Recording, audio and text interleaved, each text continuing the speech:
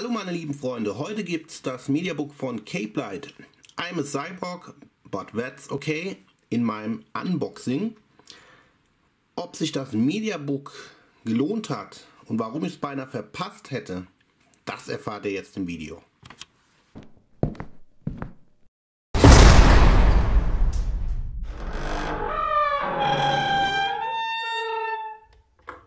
Ja, heute schauen wir uns das Cape Light Media Book I'm a Cyborg but That's Okay an.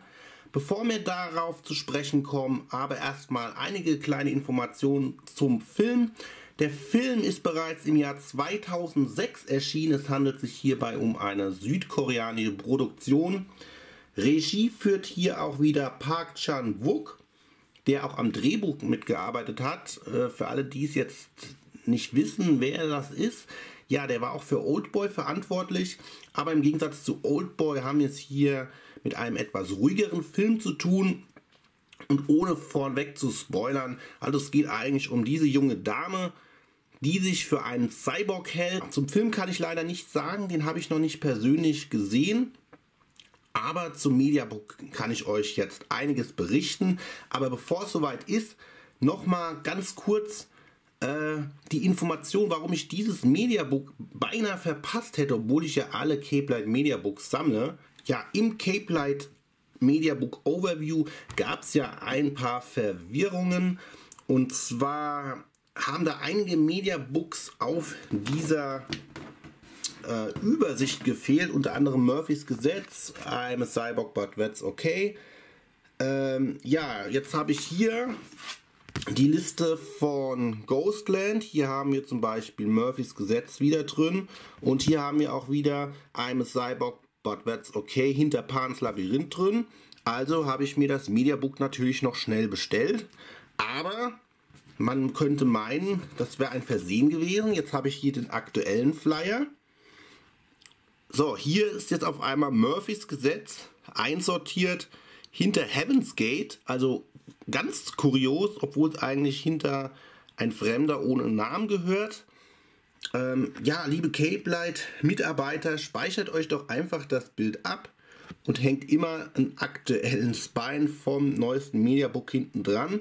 Dann kommt es doch eigentlich nicht zu solchen äh, ja, Fehlern, die für Verwirrung stiften. Ähm, ich habe mich jetzt jedenfalls hier an diese Liste bei meiner Einsortierung gehalten und damit kommen wir auch zum Film, zum Mediabook. Wir haben hier die Backcard, hier nochmal das Inhaltsverzeichnis für alle, die auf Pause drücken möchten, können sich das durchlesen. Der Film selbst kommt mit vielen Extras wie einem Making-of, einem Kurzfilm, einem Musikvideo, Trailer, Teaser-Trailer, und so weiter. TV-Spots, hier ist alles dabei. Und jetzt bin ich mal gespannt, wie das Mediabook an uns weitergegeben wurde. Oh, hier haben wir mal wieder etwas Neues von Cape Light, glaube ich. Also wir haben ein Pappeinband, wie man halt kennt, aber wir haben hier eine Glanzfolie laminiert. Man sieht das hier. Schriftzug und Charaktere hier mit einem Glanzfilm. Wir haben hier den Spine und das Back-Artwork, auch hier das Motiv mit einem Glanzfilm laminiert, drüber gelegt. So, jetzt zoomen wir ein bisschen ran und schauen mal, ob das Innere so gut ist wie immer. So, hier ist immer noch diese Old Boy Werbung drin verstehe ich leider überhaupt nicht. Da könnte man einfach mal was Aktuelles reinlegen. So leid es mir auch tut. So, also wir haben hier eine Disk, die sich einheitlich an das Design des Innenlebens anpasst. Das war die Blu-ray-Disc und wir haben hier hinten das Ganze wie bekannt auf DVD. So, und dann schauen wir uns das Ganze mal an. Die beiden landen übrigens in einer Psychiatrie und das wird ihr neuer Freund. Und er hält sich für einen Meisterdieb, der, ich glaube, Charakterzüge oder sowas stehlen kann von anderen Menschen.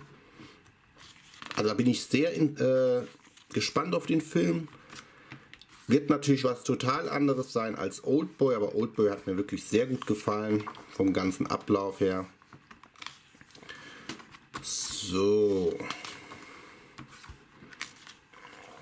Auch wenn koreanische Filme natürlich nicht jedermanns Sache sind, aber ich finde, da gibt es einige sehr gute Filme im koreanischen Genre und auch über den asiatischen Raum überhaupt. Da könnt ihr mir gleich mal in die Kommentare schreiben, was so eure Lieblingsasiatischen Filme sind, was ihr so empfehlen könnt. Gibt es einige, einige. Wer Interesse hat, kann es auch in die Kommentare schreiben. Dann mache ich euch irgendwann mal eine Liste mit asiatischen Filmen, die ich cool finde. So, und das war's schon mit dem Mediabook. Also, liebe Cape Lights, einfach mal jetzt die neuesten Versionen hier hinten dran anfügen und schon gibt es keine Probleme mehr. Wie gefällt euch das Mediabook? Hat schon einer von euch in der Sammlung und habt ihr vielleicht sogar schon den Film gesehen? Haut es einfach mal unten in die Kommentare. Ansonsten verabschiede ich mich, bedanke mich, dass ihr eingeschaltet habt. Gebt einen Daumen nach oben, falls noch nicht geschehen, lasst ein Abo da oder und oder aktiviert die Glocke. Ich freue mich. Bis zum nächsten Video. Macht's gut. Ciao, ciao.